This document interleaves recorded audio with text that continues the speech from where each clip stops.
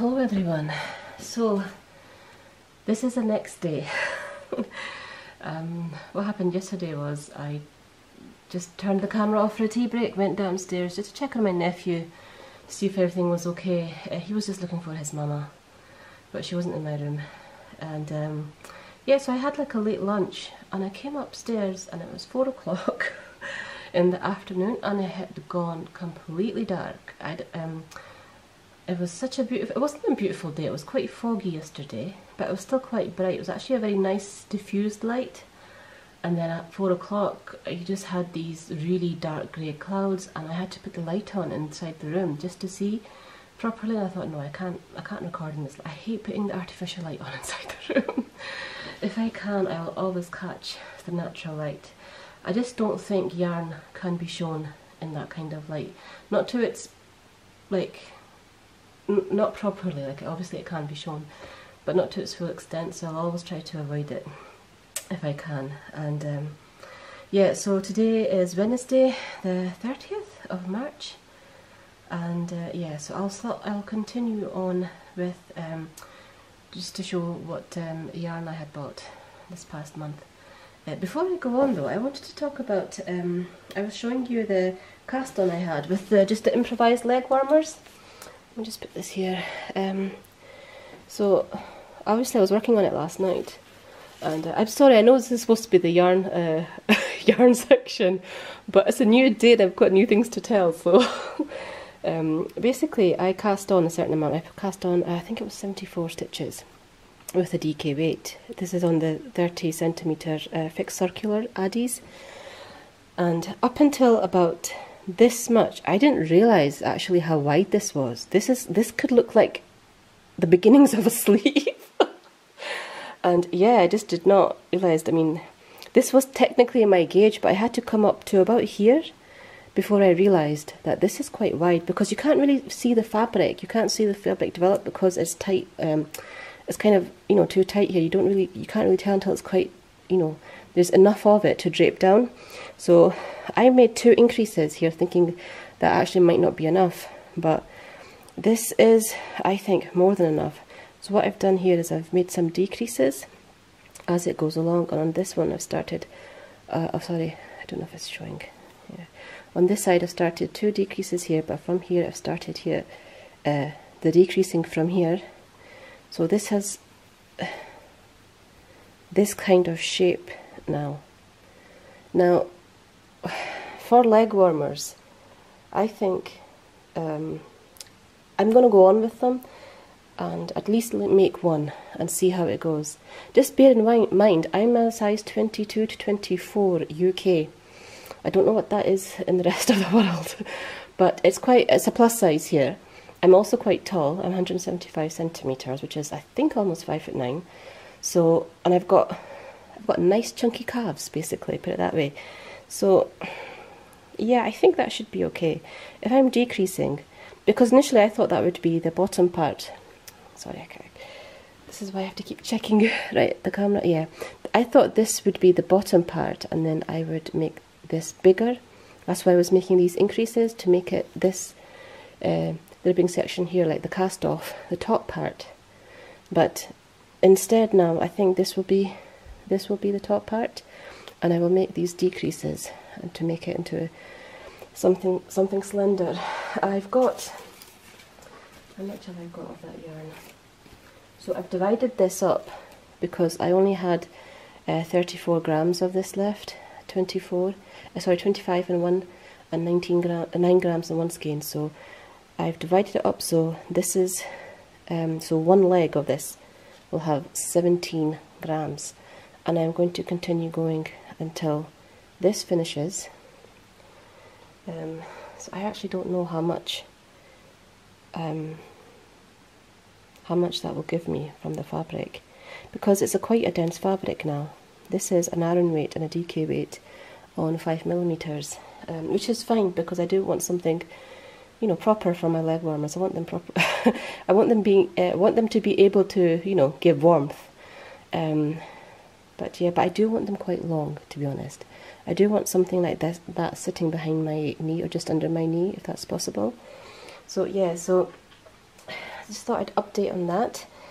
Uh, hopefully I don't hopefully I don't have to frog it. I don't like frogging, I've noticed that. I know as a knitter sometimes you kind of have to frog. There's no choice, but it what happens is that for most things I don't mind. I don't mind for a beanie, I will cast it on again. But it kind of puts me off casting on again for some reason and I don't know why. But I think I have to kind of um, tackle that in myself. Because sometimes you do have to, you will have to frog. Um, the Skiddaw nip obviously has that nip and I still, like I mentioned before, I'm not sure about them and I'm still not sure about them. This is a cream shade and it's got black nips on it. And to be honest, whenever I see them, I instinctively start picking at them, like, what, what's that? You know, I'm trying to take it off, especially because it's quite a dark uh, nip. Like, you know, it's quite, it's black against cream. So that's a bit annoying. And then I realise, oh no, that's part of the, that's part of the yarn. so uh, I think, I don't think visually it looks bad. I think it looks fine. I really like this part of it. I like, um, I mean, it's okay, the cream shade. I'm not a big fan of cream shades. And that's why I was using this for leg warmers because obviously it's going to go under my dress. Um, um, but I really like this combination. Even that colour. It's not something I'd go for, but it's like an oatmeal colour. It's a, maybe a bit shade lighter than Oatmeal Heather from Lopi. But yeah, so I thought I thought I would update on that.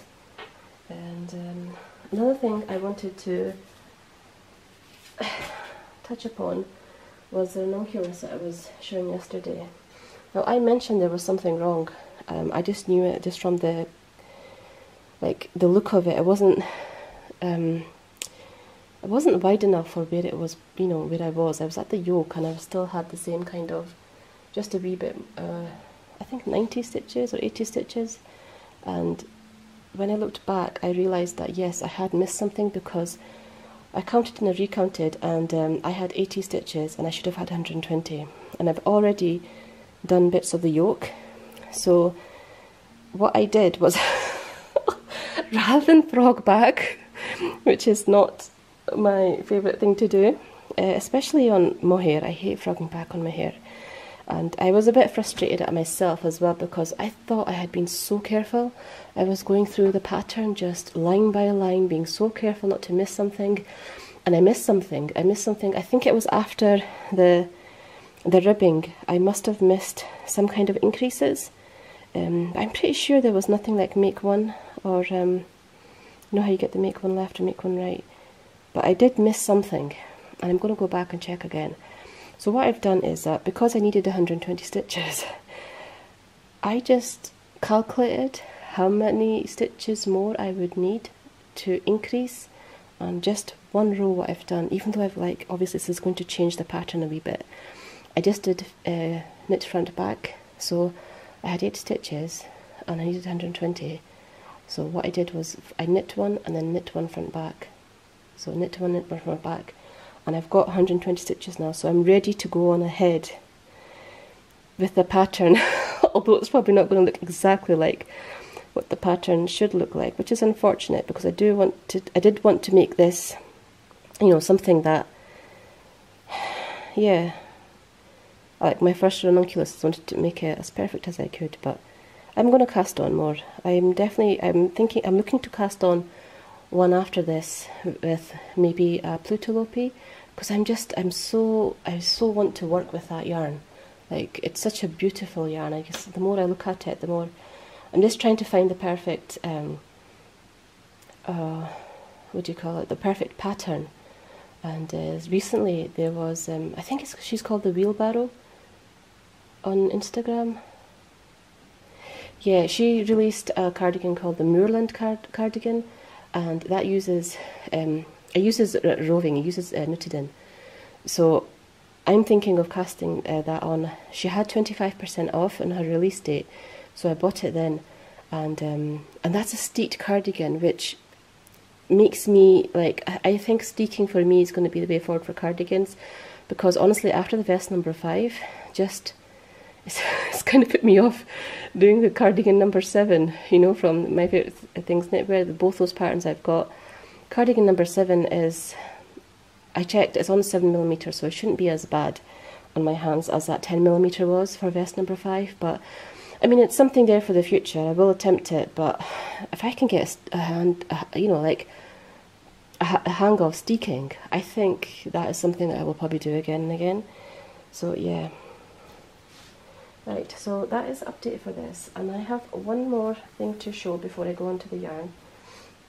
Uh, try not to make this long. I always try to make, not make it more than an hour, and it always gets more than an hour. And unfortunately, it's just simply, it takes so much time to upload if I do it for more than an hour. Right, I have, okay, let me show you the actual packet for this.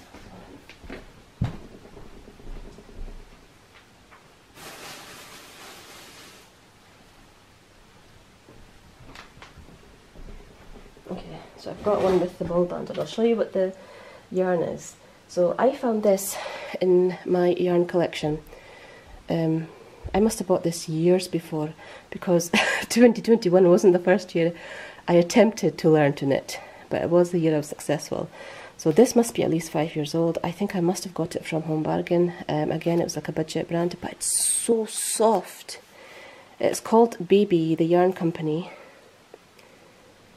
Uh, tested for harmful substances, confidence in textiles, according to Oeko-Tex Standard 100. So yeah, it looked, it's so soft and, oh, oops.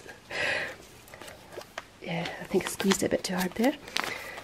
But that's what it was, and I decided that I want to cast on a baby blanket. Now, my sister got married 2020, and um, she uh, just recently moved into a new flat with her husband. And for me i am just waiting for the time they have babies because i love babies and i don't think anyone else in the family is going to have another one anytime soon. Uh, but she's in london so I'd be she's moved to london so i don't know how much i'm going to be seeing of the baby but i still want to make something for her uh, for the future. So this is not something that i'm going to rush with. It's got no time frame to it at all might take me a year or so, but I want to decide on the stitch pattern. So I kicked up some and I have done these stitch patterns. And because I have um, so many new subscribers and a lot of my previous ones, the ones I've had interaction with, I know you're very, uh, you know, established knitters, uh, so you know a lot about uh, stitches and like techniques. And honestly, just interacting with you guys has made me such a better knitter, more, more quick than if I was on this journey on my own. So I'd really appreciate some feedback and to decide what would be something that's visually nice but also uh, something suitable for a baby blanket. So the first stitch here is a honeycomb stitch which I really like.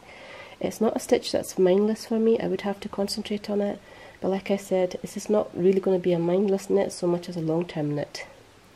So I'm willing to commit to that. The second one is just simple stockinette, which I think is lovely, absolutely lovely in this um, in this yarn. This is 100% acrylic. Obviously, I've heard so many things about what's suitable for a baby, and obviously this is something that's made for a baby. But I really want to make something in wool for a baby, but I have to kind of maybe research more about what's suitable and what's not. Uh, these are garter ridges and then excuse me towards the end we have a broken rib stitch. Now this little pearl bump here the garter ridge here was um, I just wanted to see if it made a difference if I was doing the knitting um, on the wrong side and then the ribbing on the right side. And then this was knitting on the right side and ribbing on the wrong side but it doesn't make a difference at all in the appearance. It's exactly the same. So just if anyone has experience and knows like maybe something like this wouldn't be suitable for a baby catching their nails. I don't know, like if their hands, you know, would it catch into their hands? Is a stockinette the best because it's the most flat? Um, do the garter ridges, you know, is that really good because it, uh, like I would imagine that has, contains air, you know, because it's so squidgy. Would that be best for a baby? Look how, look at the stretch on that. There's not much the stretch in this, there's not much stretch in this either. There's a stretch in this. So yeah, if you've got any opinions on that, it'd be great to know. I don't know, to be honest. Um, they all look really pretty to me. all of them, like from the honeycomb to the stockinette to the garter to the broken rib stitch. I think they're all really nice.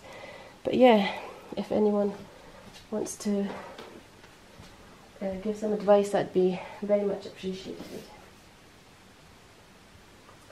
Okay, so recently, and at time of speaking actually, um, Drops has a sale on for their Alaska range, and they also have a sale on on some of the cotton blends like the Cotton Light, the Muscat, the Saffron, the Paris I think it is, and the Belle, I'm pretty sure. So I made an order for Alaska. This was a while ago because I've had it from the start of March, I think. And um, then I made a few other orders later for a few other things that are coming. But um, when this, at the start of the sale, the wool warehouse was totally out of stock for every single colours, which was not a good time to start a sale.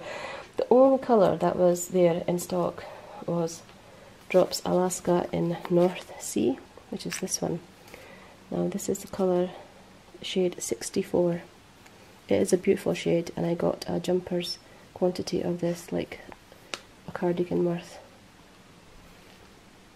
Very, very nice. I think this would look amazing as well if I combined it with, I think it's North Sea Kid Silk Mohair.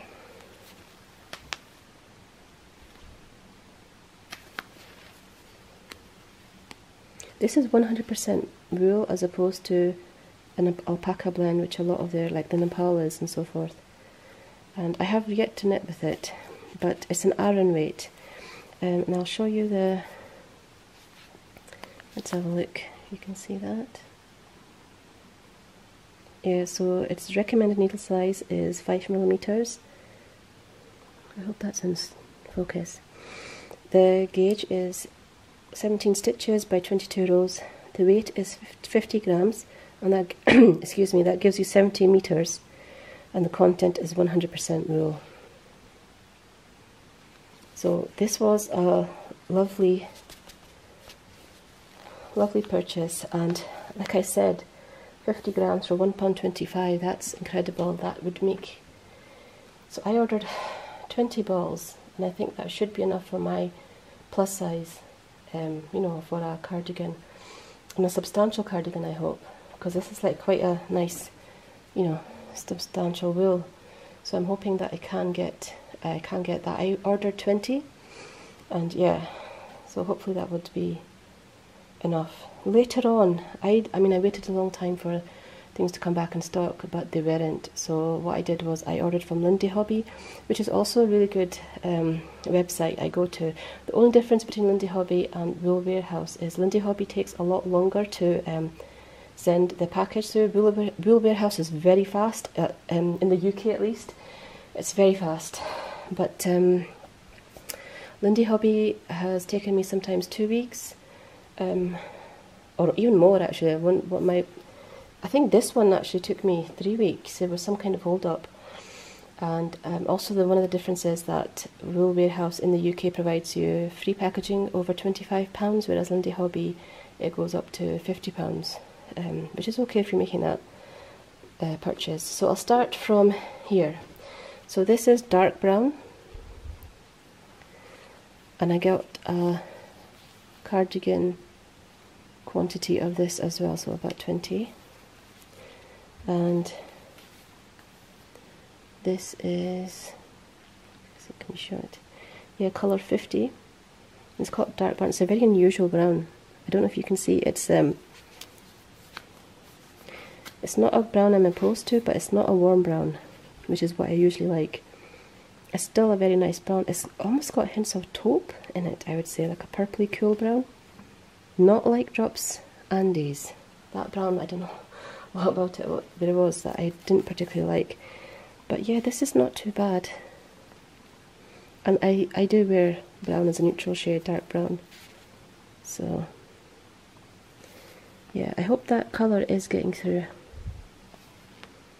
Just the taupiness of it. It's like, there is seriously, this is a, a, a purpley brown with the emphasis on brown, but you can see the shade of purple there. I'd be curious if I had a mohair in a purpley shade or a taupe shade and mixed and if I mixed it with this how would it come out. I think it'd be quite cool. So this is the shade Toffee. It's number 66 this is a beautiful shade. It's a shade of caramel of toffee caramel shade it's a very warm golden brown a dark dark golden brown almost like an ochre type shade and I've got a cardigan quantity of this as well.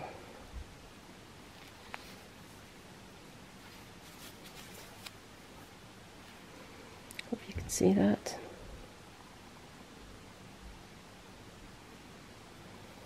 Okay. So what else did I get cardigan quantity of? Okay, so this is dark olive. I think it's dark olive. I think it's just olive and then there's a light olive. But this is the colour 51. I love this shade. I'm going to show a swatch of it uh, just in a bit. It's a beautiful, almost army green, but a wee bit more olive than brown. Um, yeah, an army green green has an element of, I don't think it's a brown, I think it's a bit of grey in it. And this is definitely a wee bit more olive. It's a beautiful shade. I cannot wait to have a cardigan. I might attempt a cardigan in this. I recently bought, there's a designer on Instagram called Vert and Rose, and she just released her first um, jumper pattern called Malwina, and it was 20% off on the release date, and I think it's just stunning and it's beautiful, and it's an Aran weight, and it's got lace. on the sleeves. And I like the emphasis on the sleeves because I usually wear um, jumpers underneath my pinafores. And that means that the the most you see of the jumper is the sleeve. So it'd be nice to have something like that. But if I can like I said that's in the future. I've got to get through this ranunculus first and these leg warmers I'm not a fast knitter as you can see you know I just um, I go at the pace I'm comfortable at um, but uh, yes this is something that I think I'd like to make um, like I'd like to use Drops Alaska, sorry, to make the Malvina. and I'd probably make a jumper first. I don't know if I'd, I'd use North Sea or another colour, but the second one, if I can get, if I can understand what steeking entails, I think it'd be cool to make a Malwina into a cardigan. But like I said, I don't know if I've got the capacity for that yet. So this was a colour, uh, this is light brown, which is a very unusual name I think to call it. It's almost like a grey grey beige. It's definitely not a brown, even a light brown. It's more definitely it's more of a grey beige shade, and it's in the 49. So it's 49. So I hope you can see. And again, it's got those slight purpley connotations that the dark brown had. And see it together. Yeah, these are definitely something that could be contrast, like you know they look well, they look good together, they look like they can match very well. And I only bought four of these to do a contrasting shade in if I need to do something like colour, colour work. I always say that, like, I've been saying I want to do colour work from the start, yet I can't find that, you know, pattern that I really want to do. And um, I'm finding actually I'm going more towards textures, like, you know, I'm starting on the ranunculus and I really like these stitches that I'm learning. And I do like textures. I really want to learn how to cable. I think both the Moorland and sorry, that's me rambling again, not noticing. um, the, the, camera's gone to 23 minutes. Yeah, so that was, um, what was I saying? Yeah, so both the Malvina and the Moorland have um, uh, some cabling in them. So I that was one of the things that like drew my eye as well. So yeah, so I'm kind of stuck into texture right now, but I still have colour work on the horizon. And I think one of the reasons why is because, and this might be controversial opinion, but I don't, I don't know that a lot of the colour work is in yoke. There's some Fair Isle, which I think is way beyond my capacity at the moment, but there's a lot of um, yoke type sweaters that have colour work in them. but very few of the patterns I like. like, or not that like. I mean, I can appreciate the beauty of them in a like impartial way, but I wouldn't want to make them or wear them. Um, and I don't know why. And I think it's partially because um, I have like all our sisters. Uh, you know, we we're five sisters, and we all have a very big bust. Um, I'm quite big in terms of my size, but my sisters are very slender. They're like UK size eight, and they still have a really big bust. and I feel like a yoke might emphasize that, I don't know. But at the same time, even though we've got a big bust, we've got very small shoulders. We've got very uh, slight shoulders. We're not broad shouldered in that way, where uh, a garment looks very beautiful. Like I heard one time a designer, on, the, on a, like a catwalk designer, saying that for the runway they like to choose a model that has very broad shoulders, almost like a coat, like you know, like a clothes hanger, because that's what they want. They want someone to be showcasing, like, you know, a clothes hanger type thing to be showcasing their clothes. And we don't have that. We're, our, our shoulders do slope down, and um, that's something kind of I've learnt um, by sewing last year and how to modify patterns. But yeah, so the yoke, the one pattern actually, sorry, I'm going on. The one pattern that really caught my attention in terms of a yoke to design is um, it's called the Black Rose. I don't know, who's it by? Is it by Kareen? I'll put the pattern down. That is stunning. That honestly, that pattern just caught my eye instantly, and I want to be able to do it. Especially, I want to be able to do it in the lopi I've got. But that is beautiful, absolutely beautiful. it's got a one of the shades in it is pink, and I want to um, definitely include that in my colour choice and I think that's one of the reasons why I bought I don't think it'd be enough but uh, I bought two of these again for colour work just in the hopes that maybe I can you know one day cast that on. And this is grey pink. Not my shade at all. Definitely not my shade. But I think when, when you look at that that cardigan uh, sorry that jumper the black rose and you look at the play of the pink with the brown and the beige and the dark uh, dark brown it looks stunning. This is shade 40 and it's a very blue pink. Almost lavender, sorry about the light. I know that's just gone a bit dark.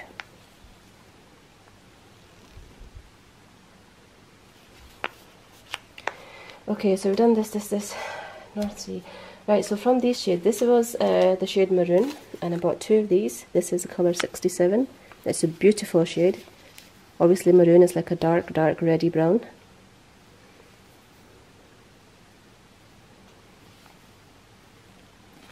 Again for any kind of colour work.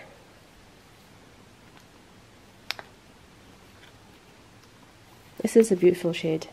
I might, I might even would have bought that in a like a cardigan weight quantity.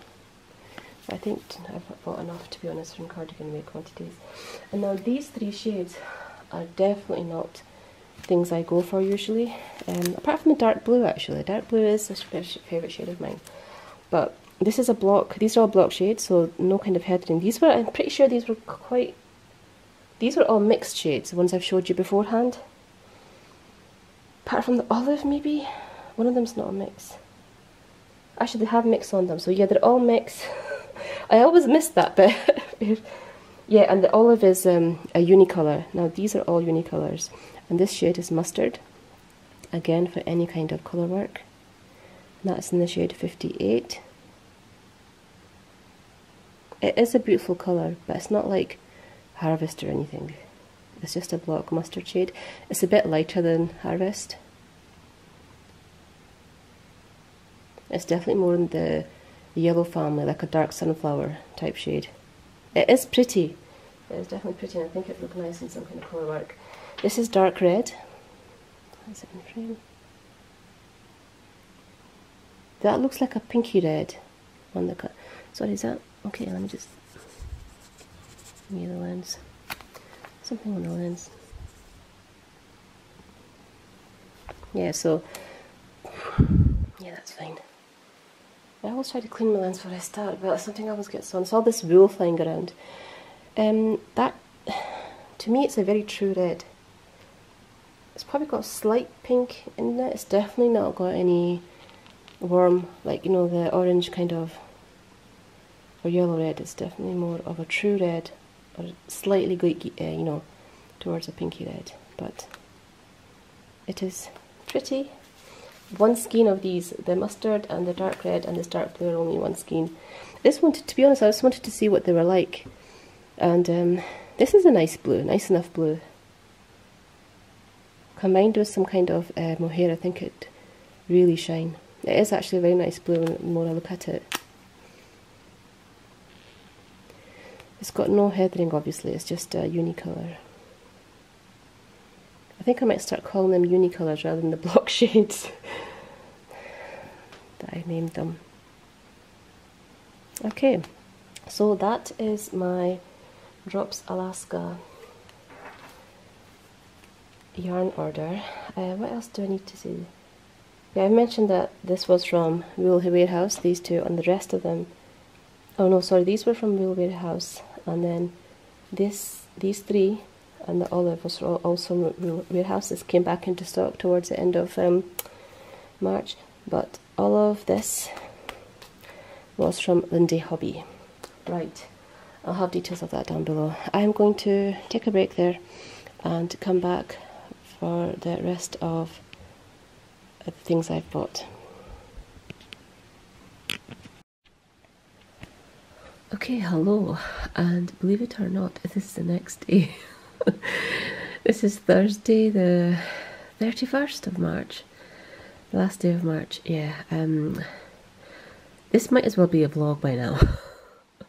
I'm not going to show you any more knitting updates because literally I think I've finished almost uh, one of the leg warmers and I will not have anything to show you in the next video because I've literally got two casts on uh, cast ons at the moment. I might cast on something else. I'm thinking either a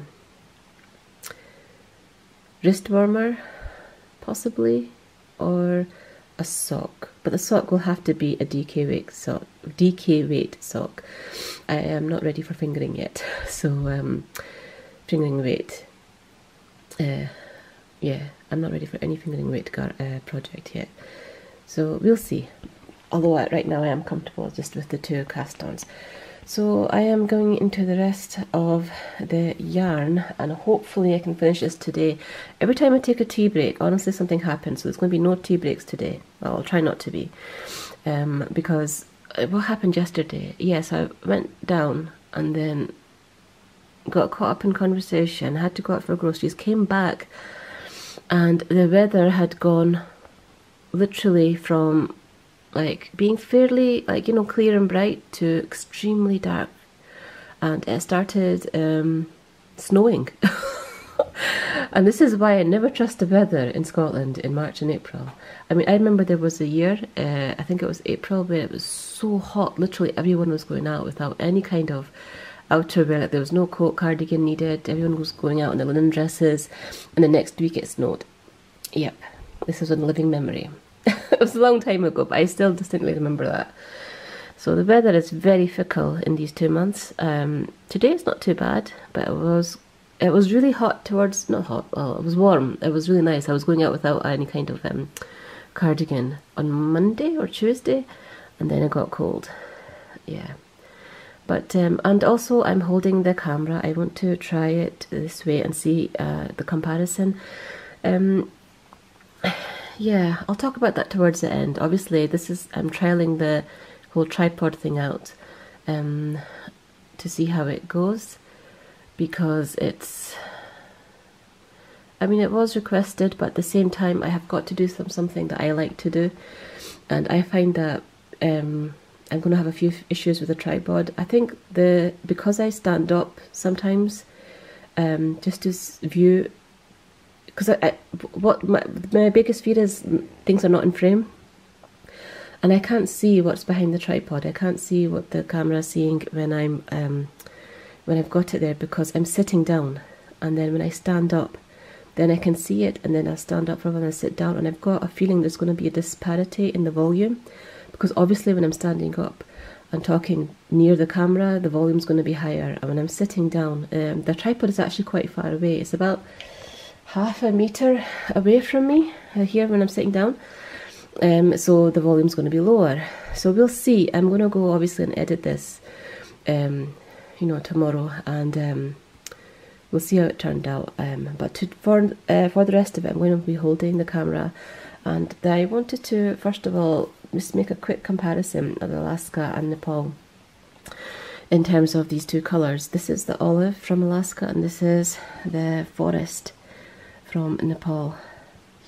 And these are both shades that I really like. Um, I've swatched up both of them. Um, the Nepal is definitely softer. It's all it's, alpaca, and um, I'll show you the swatch of the Nepal. Hold on, let me push these back and bring. Okay, so this is the Nepal swatch, and it is again. I've talked about this before. It's beautiful. It drapes so well. It's very nice and soft. Beautiful stitch definition. This is on a, I believe it's a six millimeter. Very, very nice. And the color is different from Alaska. You can see here that the Alaska is a block, like a uni shade. No heathering, it's all one shade. The green, even, I would say this is slightly more towards I don't know, I think the green is fairly similar. This green seems to have a bit more yellow in it. And this green this is called olive, but uh, doesn't seem to have as much. Like this is more of a deeper green. It's hard to tell, obviously, because it's got the heathering or the turquoise shade in it. But yeah, this doesn't have the same drape um, as in Nepal. It's sturdier. It's like, yeah, it's more firm. It's got more structure to it. It doesn't drape as well. Look, you can see it's holding its shape, whereas that is definitely more floppy. That would obviously feel a lot nicer on the skin. But this is, I really like this as well for what it is. It's something that I feel like is going to be a quite a strong cardigan. And um, I would love to have this in a cardigan, I think. I just have to decide on on the pattern. But yeah, I just wanted to do a quick, quick uh, comparison between these two. Not only in the shade, but I think just in the field, The Alaska is definitely not as soft as in Nepal. Nepal's always, uh, I think the alpaca is always going to give it um, a softness that 100% real just can't have on its own. But this is almost, I would say it's more, more rustic but it's still very nice. I think these are, in terms of the weights, because I used a 6mm in both of them, I think they're almost the same. However, I'm pretty sure one of them is um, 75 meters to 50 gram. Yeah, so the Nepal is slightly more, 75 meters to 50 grams, and I think, uh, and the Alaska is 70 meters to 50 grams. So the Alaska might even be slightly thicker than Nepal. But they're basically, I would say, interchangeable. That's not much of a difference at all. So yeah, I'll get those two out of the way. So I'll bring my other wheel here. Um, I've got two more orders to show, I think, and that's it. I wanted to quickly show what I do in order to just some moth preventative prevention me measures. So I use lavender and I use, I've got cedarwood as well, but this is lavender absolute. It's a beautiful, beautiful scent. It's a lot more deeper and richer than actual lavender. And it's just, I used to um, buy a lot from this company. Um, I used to make a lot of perfumes back in the day, um, just no perfume oils. And to, um, you know, for oil burners and um, just to mix in with sometimes with like uh, bath products. But yeah, back in the day, I used to make perfume oils, and this is what it's like. The, let me see if I can open this one handed. But Lavender Absolute, because it's a concentrated, it's got this beautiful blue shade. And I will keep these cotton um, pads in every single place where I've got, uh, yeah, you can see that blue green shade. I'll keep it in every single place that I've got wool stored. So I've got wool in a wardrobe shelf. I'll have one or two of these. And then every now and then I top it up. I've got wool stored in drums. I've got wool stored in some and plastic underbed storage. Every single one of them will have uh, a couple of these just stuck inside. And then I will top up the cedarwood and the lavender absolute every now and then. And then when it becomes a bit saturated, then I'll just replace them. Um, I know someone mentioned cedarwood blocks. I have looked online. I think I'll use this method. Um, I, I thank you for the suggestion. I actually wasn't aware of cedarwood blocks. I knew about mothballs. I don't particularly like the smell of mothballs. So if I can avoid them, that'd be great. But yes, so because I did find a moth. I I saw a moth that day, and oh my god! As a rule collector, I absolutely panicked. and I can't find the damn thing anywhere in the room, so I don't know where it's gone. But I've got my eye out, out for it. But um, I will bring in my next order. So, as everyone probably knows, um, about a month ago, no, not about a month, yeah, about a month ago, 26th of February, Knitting for Olive donated all their sales from that day to Red Cross um, in Ukraine um, so Red Cross that's on the ground and helping women, children, and uh, civilians as much as they can. Um, which I thought that gesture was amazing, absolutely amazing. They, I think it was almost a quarter of a million euros. That's incredible. Like honestly, that is incredible. So, Knitting for Olive is a company which is slightly above, I would say, my price range um, in terms of uh, buying. Like I do buy yarn. However, it is more more of the economical brands, um, and um, I always try to obviously uh, buy in a sale or a bargain, uh, you know, or discounted somehow. Um, so knitting for olive was something I saw in the background, but I'd never thought I'd purchase. Not just yet, anyway. But I thought that's just something really incredible, and when someone is showing something like that, like a, a support of that kind of magnitude, um, it's it's, it's good to support other people in their kindness, I think. And I thought, why not go ahead and um, make some purchases? So I bought three of their yarns. This is the pure silk, this is the heavy merino, and this is their silk mohair. So I'll start from here, and this is their pure silk. I think I bought, let me see, I've got this bag here, but I only bought yeah, I only bought two of them. Uh, and I thought the, this would be quite nice for like wrist warmers. Um, a lot of the things that are very that feel really nice to me, like you know, in terms of the tactile feeling, and um, I want to make as wrist warmers, the things that are directly against my skin, cowls and wrist warmers. I've not made a cowl yet, to be honest. Hmm, but I don't think I'd have enough for that. And silk, I've noticed, is one of the fibres that feels the best to me. I've worked with silk a lot in terms of my business. Like um, I've had a big bag of uh, Tussah silk roving, I think you'd call it, for God, how many years has it been since 2014? Uh, still not finished.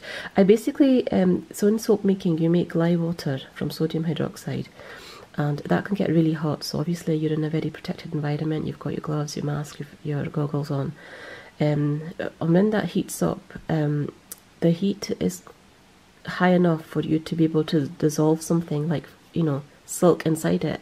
So one of my soaps is a silk soap. Um, and I just basically get snippings of the Tussah silk fibre and dissolve it in the lye water and it makes the soap very unique in that way.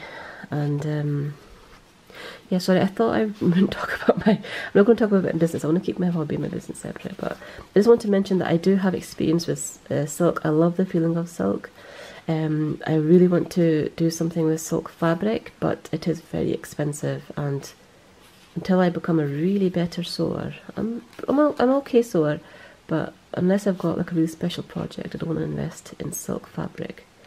But I love silk. Probably after wool is my favourite fibre. Is it? Or could it be linen? No, I think it's probably silk. In terms of the feel anyway. I love the way uh, linen works on the body, if you know what I mean. Sorry, this is dark cognac. This shade is dark cognac. I don't know if that's, yeah, dark cognac. I don't know if that's their um, uh, shade number. And 100% Bourette silk. I believe Bourette silk is raw silk. Uh, knitting for olive pure silk. I wonder what needle that would take. I'm thinking more like a four. But this is beautiful. It's a dark coppery brown umber. like a coppery earthy shade. It is beautiful. Very beautiful. I believe there are a few UK retailers of this. I think off the top of my head, was it Tribe Yarns or Beautiful Knitters? One of them two, I'm pretty sure, carries Knitting for Olive. So if I do need one more of these like balls, then I can order from there. It does, um, you do get the VAT tax and um, obviously the shipping when you're ordering from uh, Europe. One thing about ordering from Europe, I don't know if a lot of uh, UK um, buyers know, is that if you can keep your order below £135, then you can avoid the custom tax when it comes to like the UK border. So obviously the VAT tax and everything that you're going to get charged by the website is different, but if you can keep your order below £135, um, you can save up to £25, I believe.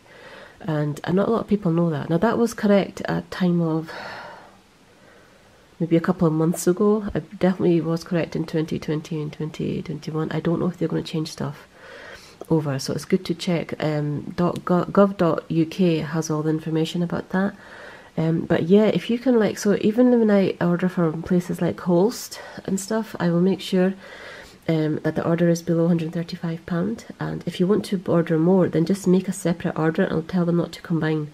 Because obviously when they combine they're going to put the combined um, amount you spent on it and that will get you that will get you the, um, the border tax again. Is it the border tax or the customs tax but yeah, so so for instance in Holst, it takes six pounds I think for shipping, which is really good for something that's coming internationally. Um, but if you want to make uh, maybe say a hundred and twenty pound order and then another fifty pound order, and you pay the shipping twice, you'll pay twelve pound, but at least you're not paying twenty five pound, you know, when it comes here. So yeah, and I don't know if it works the same way if someone from Europe is ordering from the UK. I think there is I don't think I, I, I don't know to be honest. I don't know what it's, it's country to country, isn't it? And this is like a British thing at the moment. So yeah, and it's worth keeping an eye out even if they change that amount. They might make it, you know, they might put it up or put it down. But yeah, 135 pounds is the limit I make when I'm ordering from from Europe.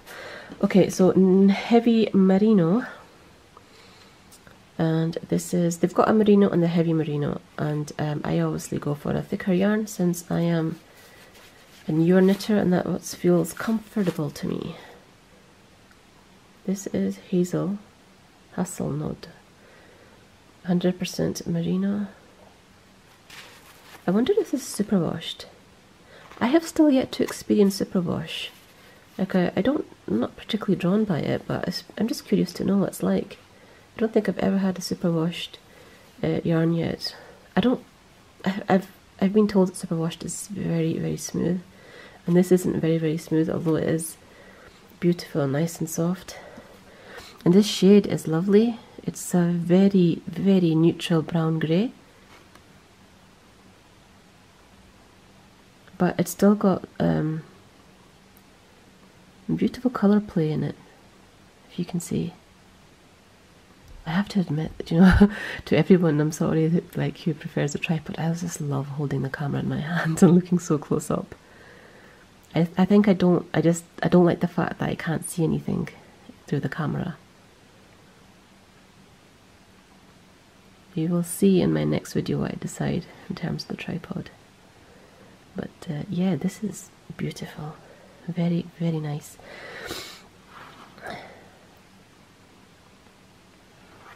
It's something deeper than a beige.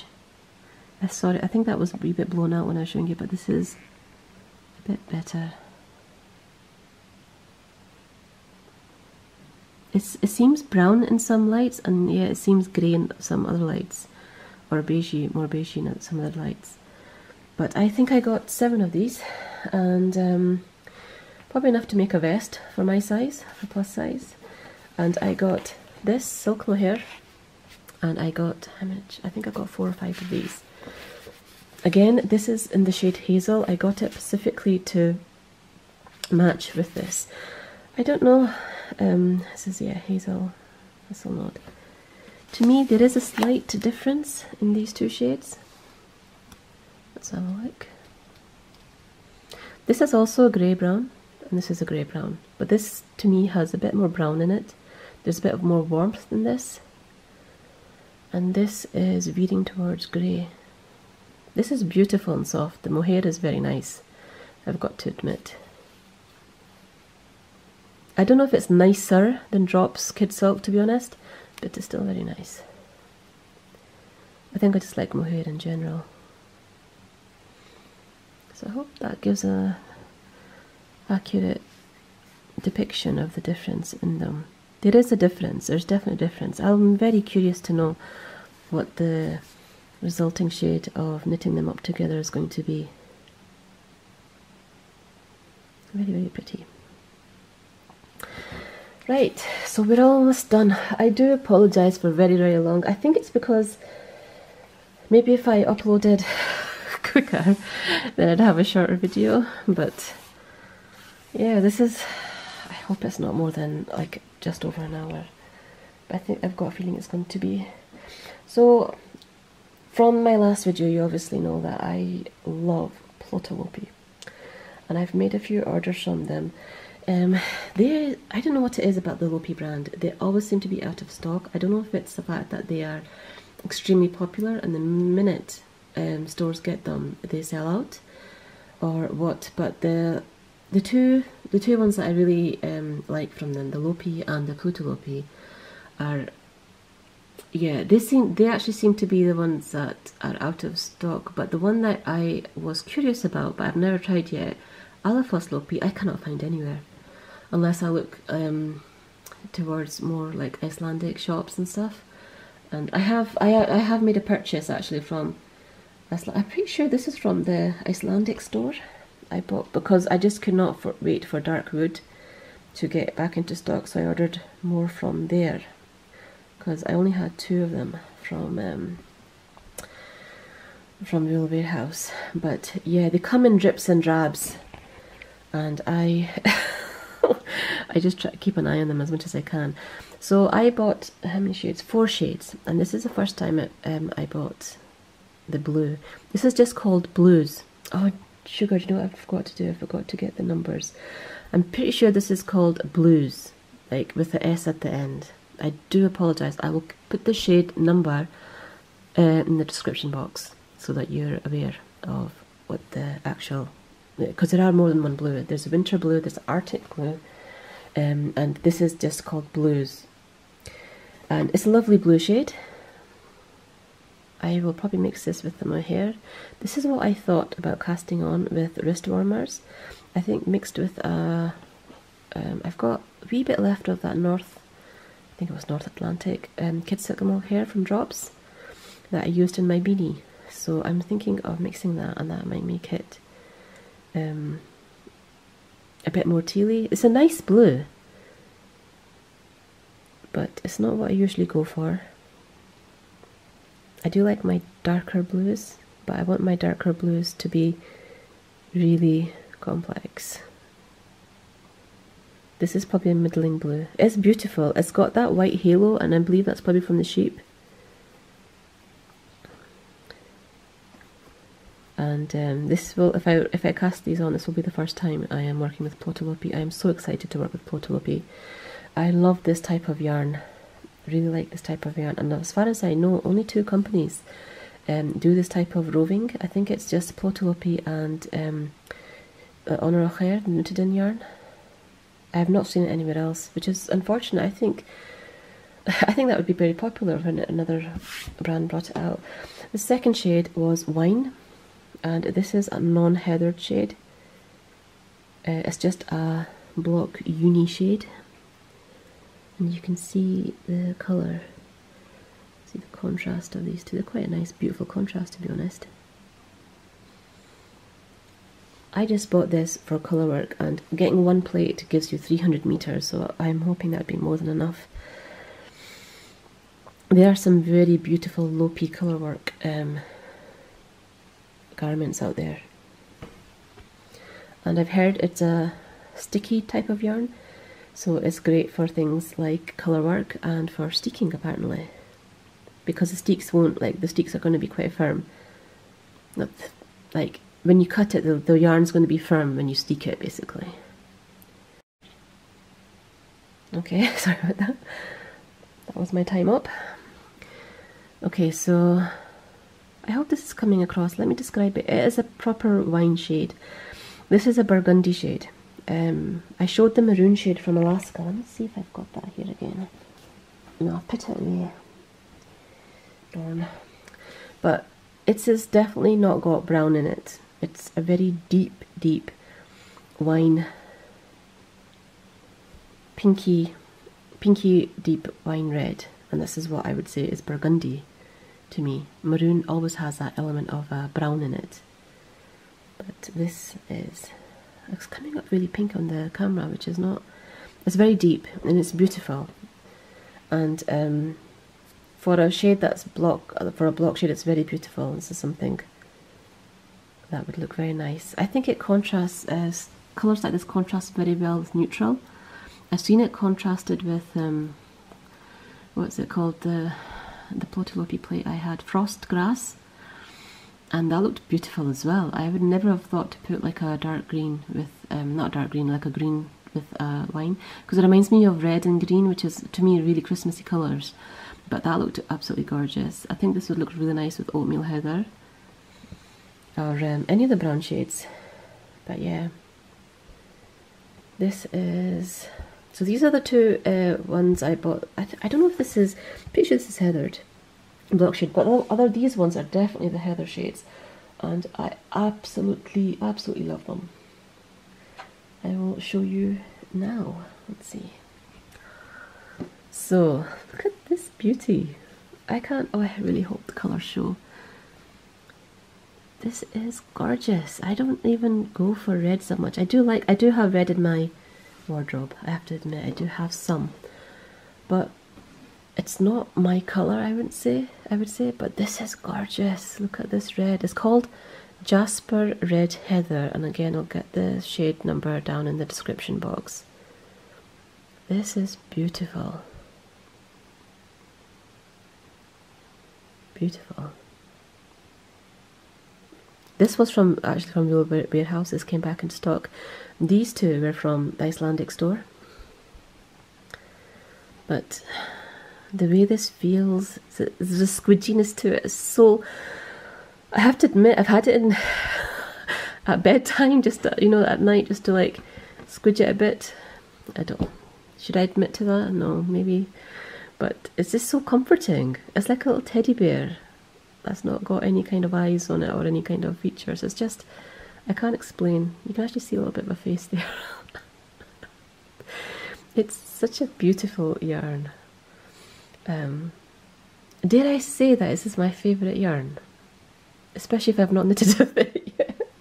Just from the appearance and the tactile feeling and just the feelings it evokes in me, I would say that this type of yarn is my favourite yarn. And I do not say that lightly because I do love my woolly knit uh, yarn and the colours there are just incredible. Even some of the colours from Holstand. yes, and I've bought some JC Rennie. I'm not going to show that now um, because I want to, to be a part of the next video. I do. I'm going to try to bring a video out maybe every four to five weeks. I don't think I could do any sooner than that, but in between I might have a video here and there about a yarn order, um, like a mini one, or um, like I said, the JC Rennie shade cards, um, the shade book. I have made that video three times now, and I've tried to do it with a tripod, without, and I've tried to like, um, I must have done about at least a 40, 40 minutes of footage and I've tried to like take out all my yarns to compare and it's just not it's not working because the shade book is flat I'm trying to put yarn on top and trying to like you know the camera's getting back and forth and yeah so I'm just thinking that making it very simple is probably the way to go forward. And I might just make it so that I linger on every single shade um, for about 15 seconds. Because remember there's 94 shades in that and I was talking about each shade for about 40 seconds to a minute even? And I was thought I was being quick but that was making it very long so. And then if you do I was when I was doing comparison each shade would take up to about two minutes or so so yeah I don't think that's feasible. So if anyone's got ideas about that let me know. But I think what I'm going to do is just um, take a picture of them show that towards the start of the video and then have linger on each shade um, with a quick 15 second 20 second description and go through the whole book. And I think that would be enough. Um, and I'll put timestamps on um, for anyone who wants to purchase a colour in that shade book to have a good look at it. Yeah so that's what I'm going to do I think for the next video but this is just stunning Jasper Red Heather this is definitely something that I'm going to get more I've only got one I think I've only bought one plate from Wool Warehouse because I was just testing out the colours to see. I've only got one plate of the wine and or the blue. Um, I don't think I'll buy any more of these two until I've used them up. But this, this could easily be a garment for me. And um, like I said, I still I don't know how much I need for my size. Like you know, uh, I would take up a lot more yarn than the average person. Like well, you know, like a someone who's like a size the average size in the UK, what is it, about 14 or something? So, yeah, I have to, I have to like kind of learn how much I need to purchase for myself. Right, so I'll put this here. Now, the last, the last shade has got to be my favourite. Isn't that incredible? Oh my god. Just look at that shade. That is so, so beautiful. This is called Dark Amber Heather. And this is one of those shades like Dark Woods that um, goes out of stock very fast. So I think, I, yeah, I bought this from the Icelandic store as well. I just had no choice. It wasn't coming back into stock. And I saw it, I think, in Dark, um, I think I saw two come back into stock in Wool Warehouse lately, and I purchased them quickly. It's a bit more expensive in Wool Warehouse. It's six ninety nine. It's about four pounds, I think, on the Icelandic store. But then you're you're paying ten pounds for the post and packaging. So, and so I can buy up to ten. I think I mentioned this before, but you can buy up to ten in Icelandic store, and that would give you, and then ten pound uh, post and packaging. So that's forty pound. So that's fifty pound. Whereas if you bought ten pound, uh, sorry, if you bought ten from Wool Warehouse, that is £60. So you're saving about £10 going to the Icelandic store if you're buying um, 10 units of this. If you're buying less, you might as well just buy from Wool Warehouse, even though it's more expensive. But so pretty. So this is obviously a very deep, rich, fiery orange.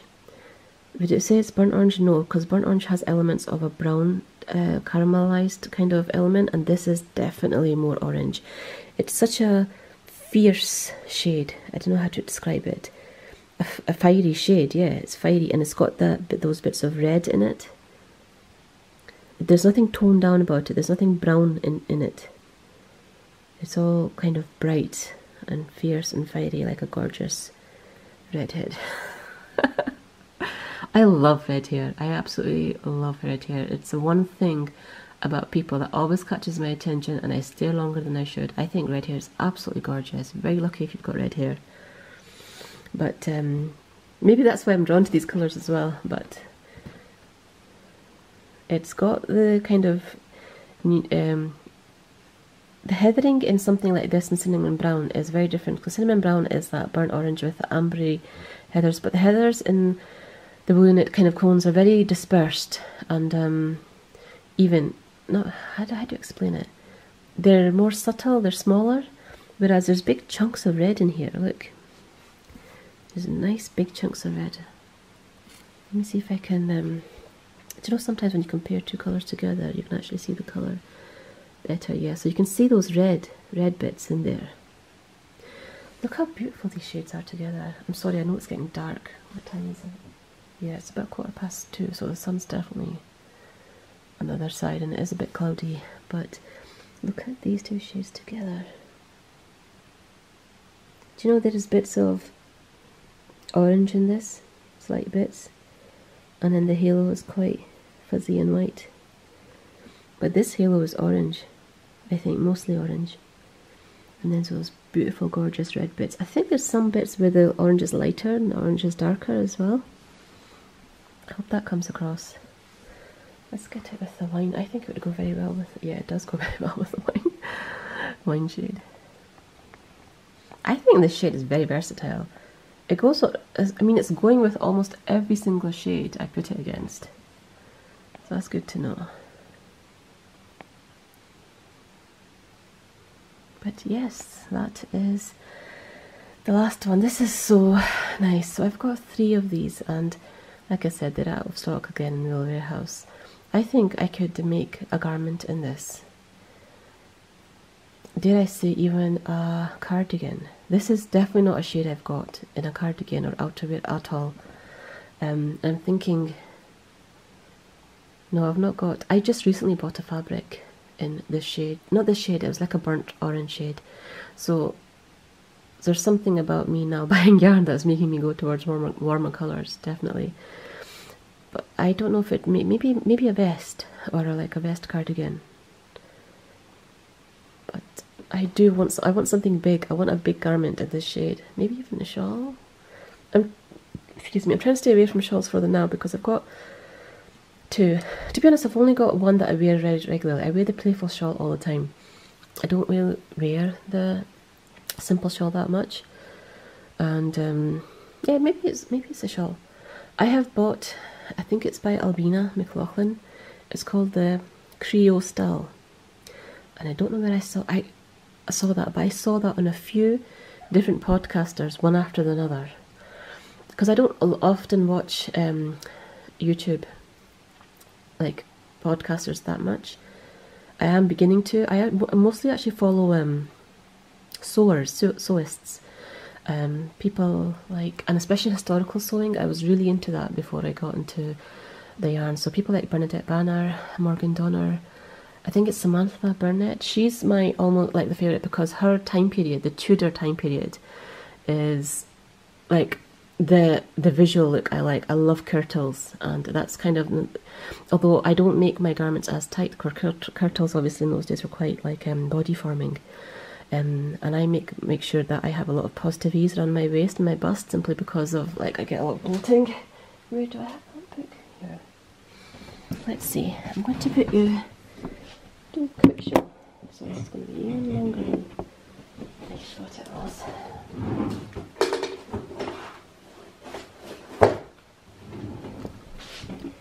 Yeah, so this is one of the first books I bought, Tudor Tailor, and it's by Ninya Mikhaila. She's on, I'm pretty sure she's uh, she's on a TV program somewhere, but it is a beautiful, beautiful book, and I don't know if it's Samantha Burnett, actually I think it was Morgan Donner that, um, oh, I was looking at underwear that time. But let me show you, there was a picture of us, where is it? Ah, see, I love this type of smocking. These were like linen shifts to wear back in the day, and the embroidery on them was incredible. And towards the end of this book, you've actually got patterns. Now, see this pattern? I mentioned before that I do an A-line pinafore. Basically, that is very similar to the pattern I use. Very, very similar. I basically, if you've got, say this is a rectangle, you basically cut your neck, your arms, and then from you measure this bit, uh, so you measure half your bust, and then from that, this is like going to be the edge of your bust. I give myself about five centimeter positive ease here. It doesn't really matter about the waist because it's A-line, and then from here to right to the edge of the um, the fabric, I cut.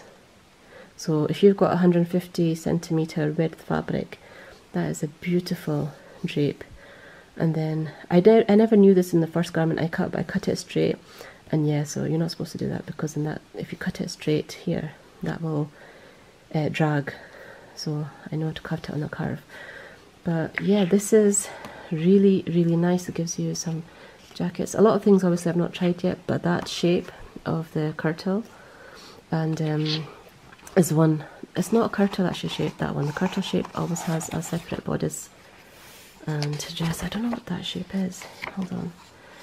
But yeah, I love this book, and what I'll do is I'll show next time. I'll show you some of the other book purchases I've bought. But I think this video is far too long, far too long for that. Um, in the future, um, I am going to. What was I going to do? Oh god, I can't remember now. But yeah, so yeah, I was just going to say about the schedule. I don't think I'd be anything um, in terms of these longer videos, anything uh, less than a month.